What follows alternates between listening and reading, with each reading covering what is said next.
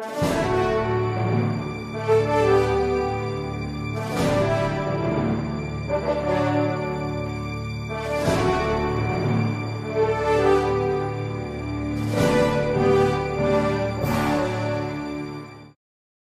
I grew up actually in several places. So I was born in Jamaica, where I lived until I was about five years old.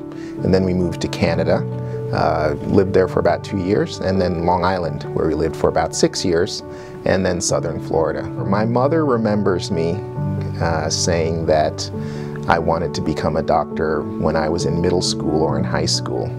There's a story about when my uncle became a PhD that I wanted to be like him and get that doctor title. So that would have been back in elementary or middle school. And I thought a lot about law or politics, but there's a direct connection that you get in medicine. I mean, what better can you do for someone than improving the health of their brain or their body? Deciding to do neurology actually came pretty late in my medical school career. I went to medical school with the intention of becoming a trauma surgeon. Someone comes in on the brink of death and you bring them essentially back to life. But uh, as I went through my medical school rotations, I saw that even when people's bodies were doing quite well, if their brains weren't, then their lives were pretty miserable, and vice versa. So that interested me in uh, working in the brain and in the mind, and that's when I decided that I should perhaps do psychiatry, and then I decided to do neurology because all of what happens in psychiatry sort of originates from this structure, the brain. My introduction to the brain during medical school was so exciting for me that I want to transfer that excitement to other people.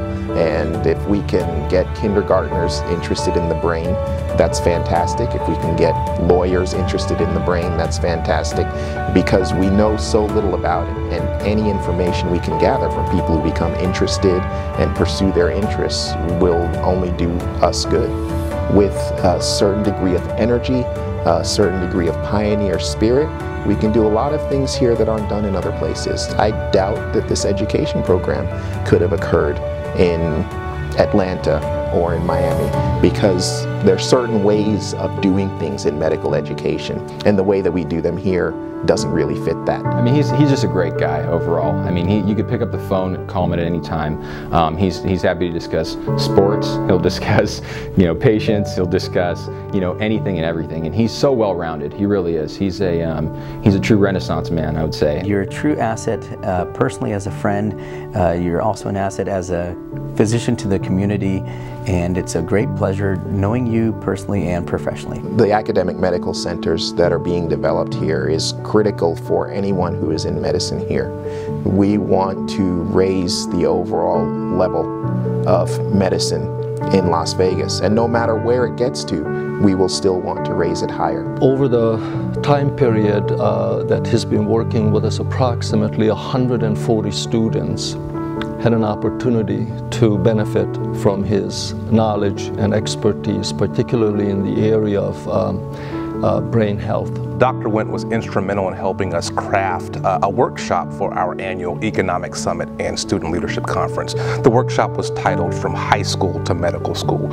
And what he did was talk to us about how we get kids interested at the high school level in the career track to get into medicine. My father walked in the clinic not knowing what to expect. But as soon as he met the staff, uh, he was engaged. You could tell there were people that cared about him. And he got to meet Dr. Wint. And immediately he felt the bond, a trust with Dr. Wint. And I would not hesitate to refer anyone to Dr. Wint to change their life and their family's life. The thing that I could remember was um, when I was about three years old and you were four. I decided to cut you with a razor just to see what would happen. And I think that may have been the precursor to us both going into the medical field. There is a rumor going around that I was on Jeopardy.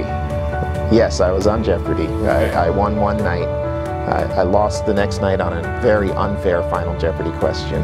Uh, I think a sense of humor is critical in medicine. What we do in medicine is very serious. People are entrusting us with their bodies and their brains.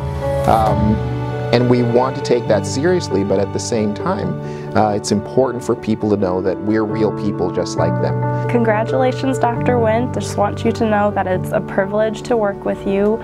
Um, you're such an excellent mentor and doctor here. I really appreciate everything you do. Congratulations. Hey, Dr. Wint, um, congratulations on your award.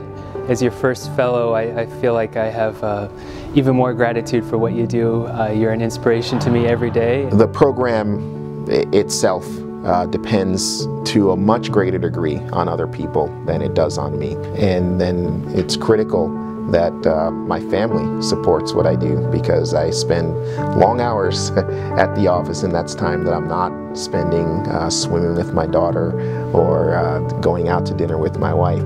But they've been incredibly supportive of what we're trying to do for this community. I would be delighted to honor you tonight. You've done a fantastic job with the educational program. I am honored to be one of your colleagues and I celebrate you with everyone else this evening. Thank you for all you do.